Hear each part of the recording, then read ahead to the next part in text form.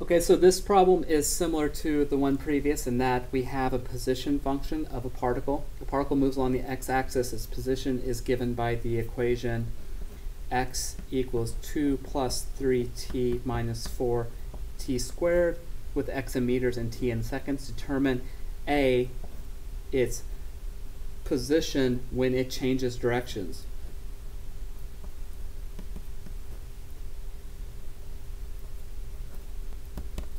Changes direction. Um, oh, okay, so what do we know when something changes direction? So let's say something's moving in, um, let's just, a very simple uh, little thing was just visualize this. A person is walking with velocity in this direction, and then at some point later, the same person is walking in the point that direction. Well, if we think of velocity over time, and if velocity is positive here, and at some point it's negative at the time in the future, that means whatever this velocity, whatever the, the function takes the shape of, the point where it goes from positive to negative is zero. In order to go from positive to negative, you have to go through zero, right? It's just a, you know, um,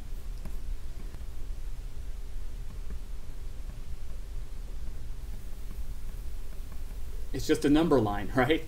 You have a positive number, you want to get to the negative number, you have to go through zero. You can't go around it.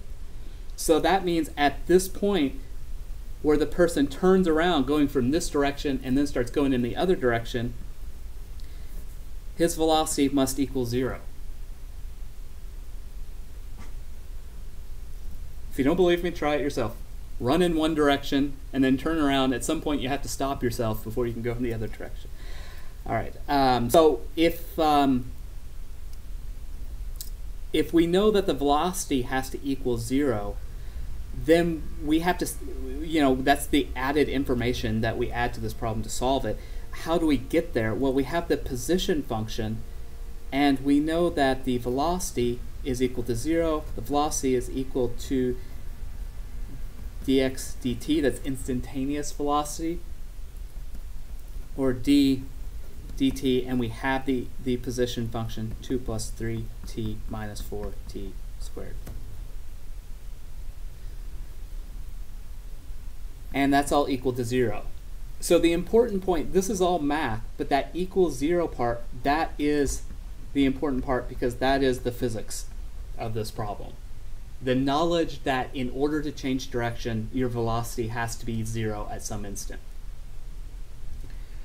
Um, and what are we after to begin with? We are after its position when it changes direction. So we're after x.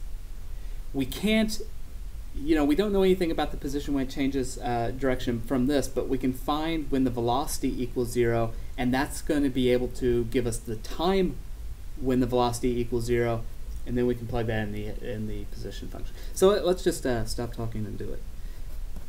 So velocity, if we differentiate each one of these terms, uh, remember that if you want to differentiate dx dt, where this is an arb, you know, a generalized function, so that's let's say a t to the n, that's going to equal a n t to the n minus 1.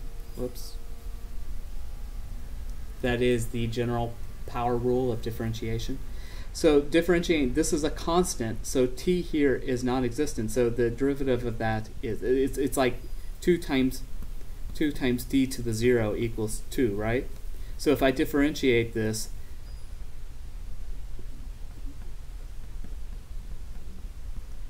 that's going to equal 2 times 0, t to the 0 minus 1. We have a 0 in there, so all that equals 0.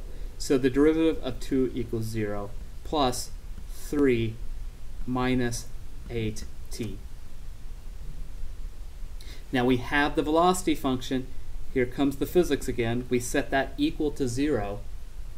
And now we can solve for t. So then t is just equal to 3 eighths seconds.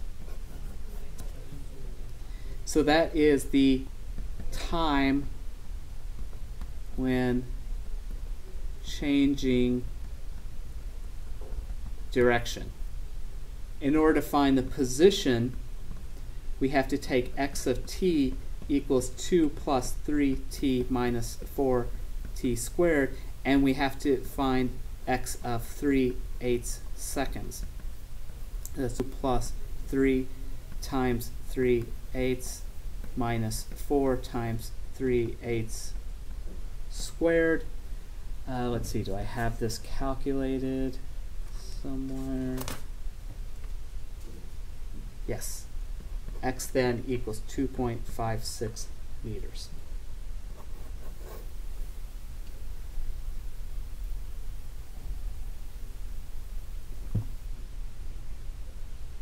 If I were to think about this graphically,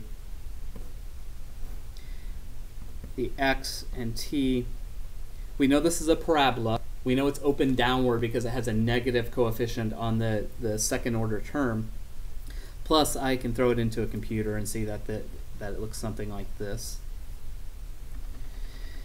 That means when it changes direction, its velocity must equal zero. So the slope must equal zero. That's going to be at the peak at the, uh, of the curve. And its position then is equal to x equals 2.56 meters. The velocity would be a linear function with a slope of negative 8, so it's going to be sloped this way. Uh, let's say I know that it must be 0 at this point in time. So the velocity is going to look something like that.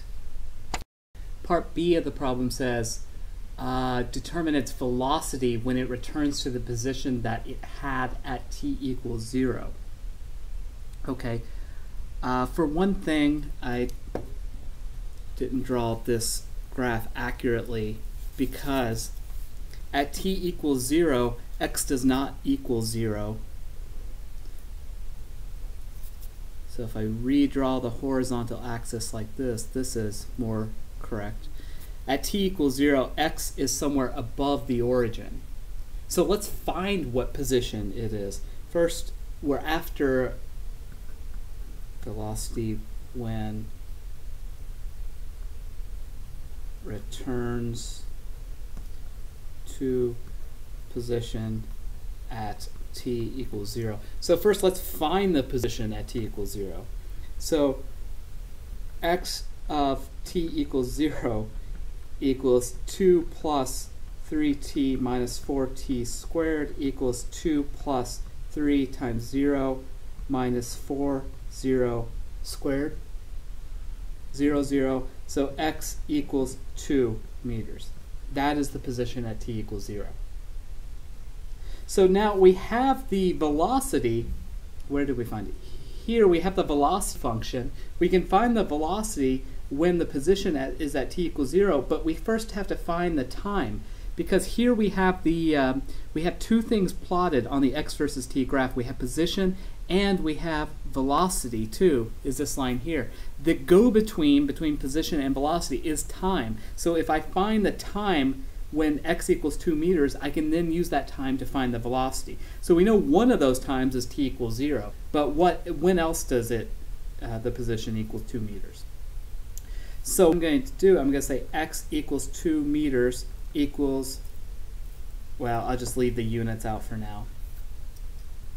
X equals 2, let's slide this up a little bit. x equals 2 equals the function for position 2 plus 3t minus 4t squared. I'm going to subtract 2 from each side of the, the equation, so 0 equals 3t minus 4t squared. It's a second order equation, so we're going to get two solutions factor out a t, t times 3 minus 4t. All I did was factor a t out of each term. So now we see this has two solutions. One when t equals 0, obviously, because uh, we just found that at t equals 0, x equals 2 meters. But also, we have this side. This equation is also satisfied when 3 minus 4t equals 0. Or t equals 3 fourths. So when t equals 3 fourths, x equals 2. So now we can go back to the velocity equation, velocity equals 3 minus 8t, and we can plug in 3 fourths. So velocity of the function v of 3 fourths equals 3 minus 8 times 3 fourths. And there, then the velocity is negative 3 meters per second. So we have found the velocity at 3 fourths of a second. The velocity is negative 3 meters per second. And we have uh, we found three three quarters of a second because we know that's the time when the position equals two meters after t equals zero. So if we're looking back at this equation here, so it's going to look something like this. Um, the position equals two meters at t equals zero, and all the way out here at t equals three. Uh, I'm sorry, the position is two meters at t equals zero, right here, and here t equals 3 fourths, position equals 2 meters. But if we go down to the velocity, the velocity is going to equal at 3 fourths negative 3 meters per second. Per second.